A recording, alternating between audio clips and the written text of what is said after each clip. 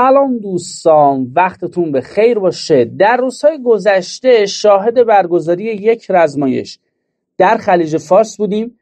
در جزایر سگانه ایران با محوریت بوموسا جایی که این روزها دیگر به موشکهای ایرانی با هوش مصنوعی مجهز و مسلح است محافظین, محافظین جدیدی که به شکل ویژه ای از این جزایر در مقابل دشمنان ایران دفاع خواهند کرد. می‌خوایم بریم بخشی از اظهار نظرهای کارشناس های البته کارشناس که نه یک فضا رو بررسی کنیم ببینیم رسانه های عرب درباره این قضیه چیا گفتن. بعد می‌خوایم برگردیم اون رونمایی هایی که در حاشیه این رزمایش داشتیم رو با هم یک بررسی بکنیم ببینیم که ماجرش به چه شکل بوده. من فقط یه نکته رو داخل پرانتز خدمت شما عرض کنم دو تا خبر همزمان درباره خلیج فارس داره مطرح میشه در حوزه نظامی. یک خبر مربوط به ایرانه. حرف اصلیش هم این آقا یا رزمایشی دارم برگزار می‌کنم توی خلیج تا قیامت فارس در اطراف جزایر سگانه. اصلا پیام من به امارات نیست. چون من تو اون برنامه که گفتم عرض کردم خدمتشون گفتم پیام مستقیم و واضح ایران به اماراته. پیامم به امارات هم نیست. پیامم به آمریکایی هایی که دارن چند هزار تا نیرو میفرستن. و البته به امارات و دیگر کشورهای همسایه هم دارم اینو میگم که اگر دوست داشتی از توان نظامی من به جهت دفاع از خودت می‌تونی در خلیج فارس استفاده بکنی. اینم به منم فکر بکن داشته باش که بتونی از ظرفیت منم استفاده بکنی. پیام صلح و دوستیه. این چیزی که داریم برگزار می‌کنیم پیام صلح و دوستیه. خلاصه حرف من اینه. در مقابل این دوتا خبر که یکی رزمایش ایرانه یکی هم حضور آمریکایی ها در خلیج فارس با چند هزار نیرو و F35 و فلان و فلانی که اخیرا رسانه‌ای شده ما شاهد این هستیم. دومی داره سوژه میشه. ایران ادعای ابرقدرتی نداره. ایران همچین ادعایی رو هیچ کجا مطرح نکرد نه من یه تسلیحات سازم برای کشور خودم به جهت دفاع از خودم در این سرزمین. با فراز و نشیب هایی که دارد یه چیزایی ساختم گذاشتم رو میز. این رزمایشش به شدت جدی گرفته شده. اون داره سوجه میشه و داره مسخره میشه. نه فقط توی رسانه های عرب زبان. فارسی زبان های سعودی اینترنشنال همین چند روز نگاه می‌کردی آمریکا داشتن مسخره می‌کردن. که حالا مثلا نظامیت هم آوردی روی این کشتی چیری؟ اگه بخواد توقیف کنی که توقیف می‌کنی که. چیکار می‌خوای بکنی چی می‌خوای عوض کنی با این داستان؟ خیلی حرفه در این چیزی که من خدمت شما عرض کردم. 44 سال پیش تقابلی پیش آمد بین ایران و ابرقدرت. امروز به ابرقدرت. F35 هم میاره تو منطقه میخندن. ایران رزمایش برگزار می‌کنه میشینن ساعت ها درباره صحبت می‌کنن. بریم یه سر استودیوهای کشورهای عربی ببینیم چیا درباره رزمایش اخیر گفتن. بعد برمیگردیم نکاتی دارم مفصل خدمت شما القوات البحرية في الحرس الثوري الإيراني مناورات عسكرية في المياه الخليجية وذكر الحرس الثوري في بيان أن الهدف من المناورات هو حماية أمن المياه الخليجية والجزر الإيرانية في حسب البيان. وأضاف أن قواته اختبرت صواريخ باليستية بحرية دقيقة ومسيرات وسفنا مسيرة وكشف الحرس خلال المناورات عن صاروخي فاتح 360 البالستي وصاروخ كروز غدير البحريين بحريين إضافة لسفينة مزودة بصواريخ يصل مداها إلى 600 كيلومتر. خیلی خوب. تصاویری از رزمایش ایران رو دارید روی صحبت بنده مشاهده میکنید. وللمزيد من التفصيل ينضم إلينا الآن مراسلنا عمر هواش. تفضل عمر أهلا بك. اجازه بدید بخشی از صحبت این فرد رو ببینیم قبل از اینکه بریم با صحبت خبرنگارشون همراه بشیم. میگه که نیروی دریایی سپاه پاسداران رزمایش نظامی خود در آبهای خلیج فارس را شروع کرده است و در بیانیه اعلام کرده هدف از این رزمایش حفظ امنیت آبهای خلیج و جزایر. من این داخل پرانتز خلیج نه خلیج تا قیامت فارس. ما چیزی تحت عنوان خلیج نداریم. مگه من به امارات میگم مثلا یه کشوری اسم فارسی مگه من رو امارات می‌ذارم؟ مگه ما برای قطر اسم فارسی می‌ذاریم؟ مگه برای عربستان اسم فارسی می‌ذاریم؟ اگر ما امارات رو کشور همسایه شماره یک ایران خطاب بکنیم یا درباره عربستان در نقشه ها بنویسیم کشور شماره دوی همسایه ایران. یا بزنیم مثلا کشور لبنیاتی همسایه ایران. شما واکنشتون چی میگه اصلا اسم وجود نداره. از کجا رفتین اسم آوردین اسم وجود نداره. خلیج چی؟ خلیج تا قیامت فارس. اجازه بدید بخونیم. در بیانیه ای اعلام کرده که هدف از این رزمایش حفظ امنیت آبهای خلیج تا قیامت فارس و جزایر ایرانی طبق متن بیانیه است. سپاه افزوده که نیروهایش موشک های دریایی دقیق و پهپادهای پهپادها و قایقهای بدون سرنشین را آزمایش کرده است. آنها در ضمن این رزمایش از موشک بالستیک فاتح 360 و کروز قدیر به علاوه یک کشتی مجهز به موشک با برد 600 کیلومتر رونمایی کردن. حالا می‌خواد بره برای اطلاعات بیشتر با کارشناسشون همراه بشه. قبل از اینکه با کارشناسشون همراه بشه من این نکته خدمت شما باید عرض کنم و آن نکته این هست. زمانی ما وقتی در خصوص ایران و این منطقه صحبت می‌کردیم حالا در ادامه فیلم رو خواهیم دید. باید نیروی نظامی ایران می‌رفت با قایقی که قایق تونرو هم نبود. با قایقی که به آن صورت از جان نیرو هم نمی‌تونه حفاظت بکنه. یعنی چیزی که شما رو در مقابل طرف مقابل حتی در مقابل گلوله حفظ بکنه به اون صورت چیزی نداشت.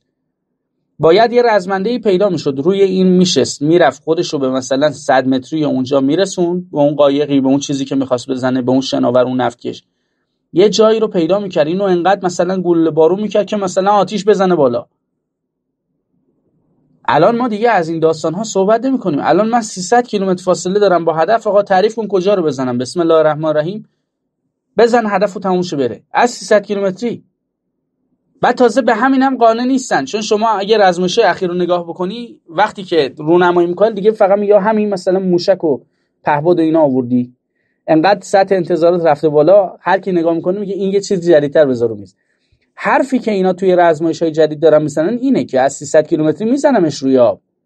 از 600 کیلومتری می‌زنم از 2000 کیلومتری می‌زنم ولی بحث الان دیگه اینا نیست. بحث اینه که بتونم تو سرعت بسیار بالاتری بزنم. و ایران داره روی اینها کار می‌کنه. بریم ادامهش رو با هم ببینیم. برمیگردیم. نکاتی دارم خدمت نعم ليلى اجرت قوات البحريه في الحرس الثوري الايراني صباح هذا اليوم. مناورات عسكريه بحريه لم يكن معلن عنها. انطلاقا من جزيرة أبو موسى في المياه الخليجية إضافة إلى الجزر الأخرى مثل طنب الكبرى وطنب الصغرى. هذه المناورات شهدت عمليات نقل الجنود إلى هذه الجزر إضافة إلى تمرينات بالطائرات المسيرة بالصواريخ بالسفن. وتم الكشف خلال هذه المناورات لأول مرة عن تزويد سفن إيرانية بصواريخ يصل مداها إلى 600 كيلومتر إضافة إلى أنه تم تزويد وحدات البحرية في الحرس الثوري الإيراني بصواريخ لأول مرة من طراز فتح وهو صاروخ باليستي إضافة إلى صاروخ كروز القدير وهما صاروخين بحريين بات يمتلكهما الحرس الثوري الإيراني. خیلی خب بخش از این ویدیو دیدی میگه که بله نیروهای دریایی سپاه پاسداران صبح امروز آزمایش نظامی رو اعلام نشده. در جزایر بوموسا در خلیج فارس شروع کردن دیروز رو منظورش است به جزایر دیگر مانند توم بزرگ و توم کوچک رسیدن این رزمایش شامل عملیات انتقال سرباز. به این جزایر می شود از فارس و از هرمزگان و از چند جای دیگر در 15 دقیقه 1500 نیرو به این جزایر منتقل شدند. میگه که این اشارش به همون هست. توی این رزمایش انتقال سرباز صورت گرفته تمرین شده علاوه بر استفاده از پهپاد و موشک و کشتی اینها اتفاق افتاده در خلال این رزمایش برای اولین بار.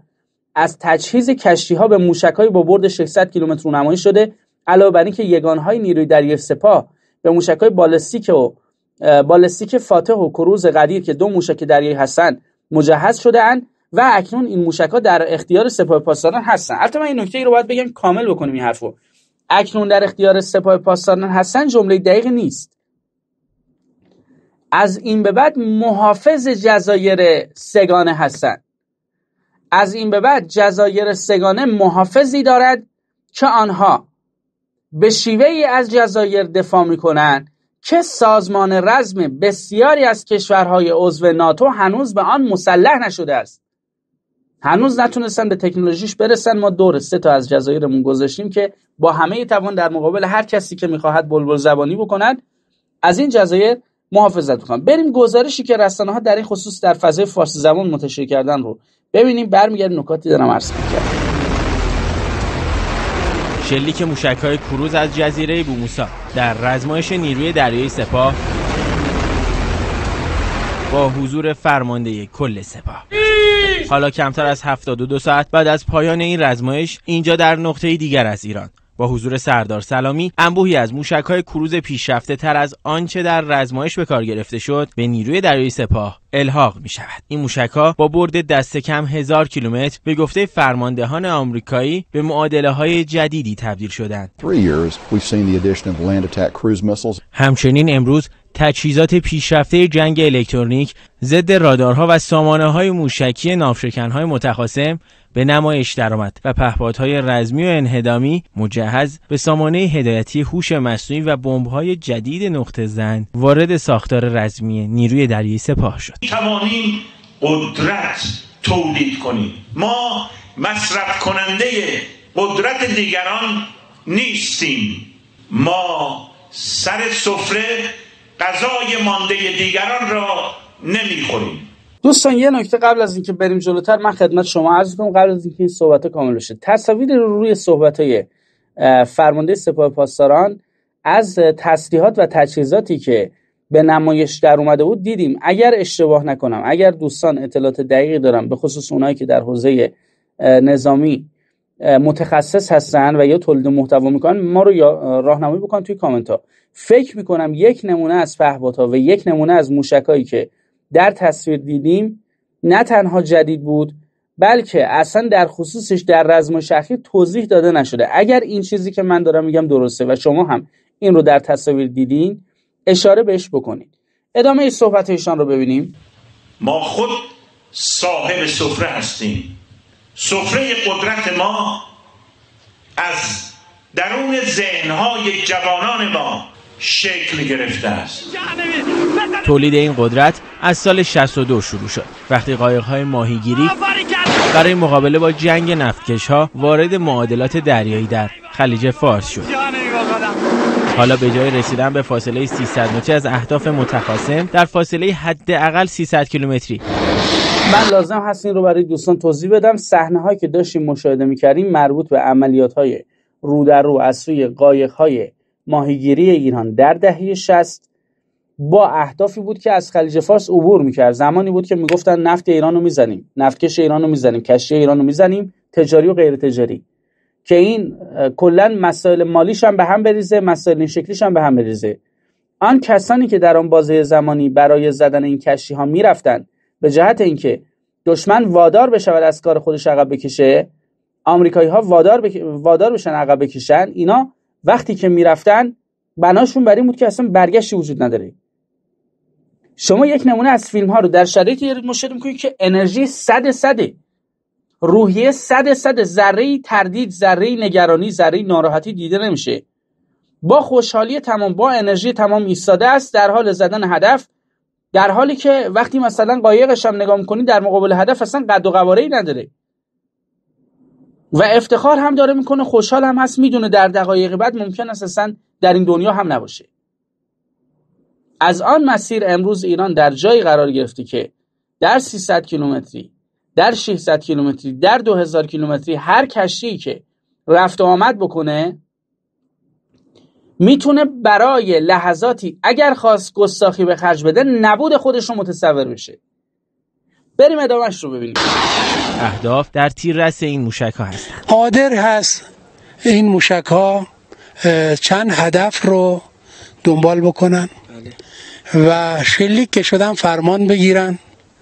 در بین راه شما می‌تونید اهداف اینا رو عوض کنید. یعنی نافچکن های مثل آلیبر که آمریکا که حالا امروز چهار فروند از آنها در خلیج فارس مستقر است.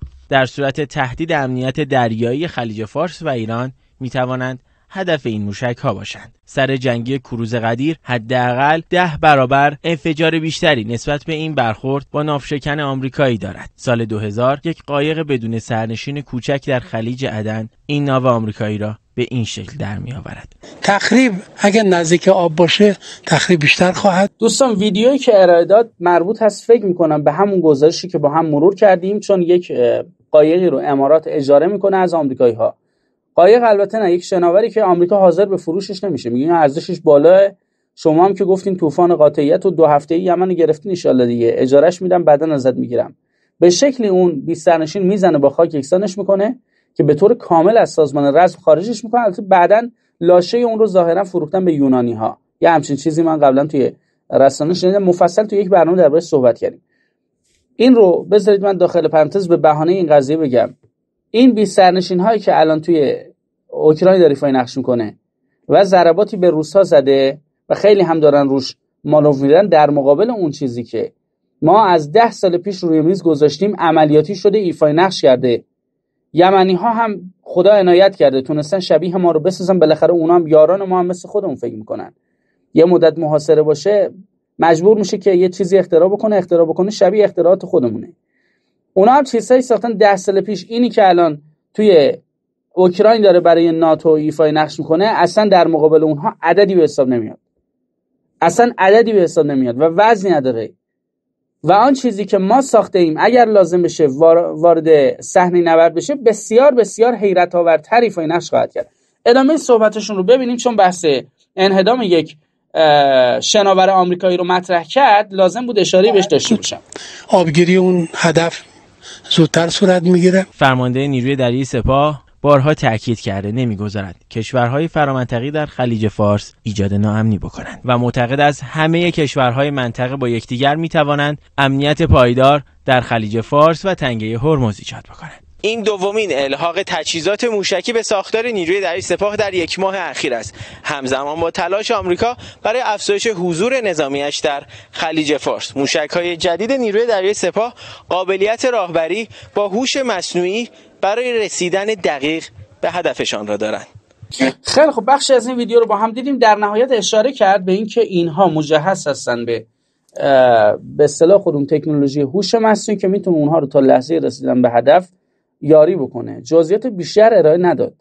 یا باید بریم در میدان در جای خودشون نشون بده بعد بر اساس اون بگن منظورشون چی بوده. یا باید صبر بکنیم ببینیم در روزهای پیش رو چیزهای بیشتری در این خصوص ارائه خواهد شد یا نه. من طولانی‌ترش نمی‌کنم. دو تا نکته رو باید خدمت شما عرض کنم. نکته اول یه زمانی آمریکایی ها اومدن تو منطقه ما گفتن آن چیزی که در منطقه می‌بینید اشارهشون بود به کشته شدن عراقی ها اشارهشون بود به کشته شدن افغانستان. می‌گفتن این درد زایمان منطقه است. منطقه جدیدی داره به دنیا میاد یک منطقه خوبی قراره به دنیا بیاد. ضد تروریسم این درد زایمان منطقه است. خیلی ناراحت نباشید. گذشت امروز همه آنها بر این باور هستن منطقه‌ای که شاهدش هستیم منطقه ایرانه. درد زایمانی که آنها بر منطقه تحمیل کردن ظاهرا به چیزی منجر شد که فکرشون نمی‌کردن. این منطقه الان منطقه ایرانه. من می‌خوام اینو خدمت شما عرض کنم مطمئن باشید در معماری پیش روی منطقه ما در خلیج فارس ایفای نقش اصلی به جهت تأمین امنیت را ایران و یارانش تأمین خواهند کرد. ایران و یارانش انجام خواهند داد. یارانش چه کسانی منظورم هست. اونایی که چشم دیدن ما ندارن. دوست دارن سر به تن ما نباشه. اما به این جنبندی رسیدن که برای حفظ امنیت در خلیج فارس بهترین کار اینه که با کسی به نام ایران بنشینیم و صحبت بکنیم باید بریم جلوتر ببینیم که آیا این چیزی که خدمت شما عرض کردم محقق خواهد شد یا نه. یه نکته دومی بود فکر می‌کنم اگر ازش عبور بکنیم یه جای دیگه مفصل در صحبت بکنیم بهتر باشه. اگر بحثی بود در قالب پیام برای من بفرستین کمک بکنید که گزارش با پیام های شما کاملتر بشه. خاک پای همه رفقا هستم خیلی مخلصم خیلی ردت دارم. وقتتون بخیر.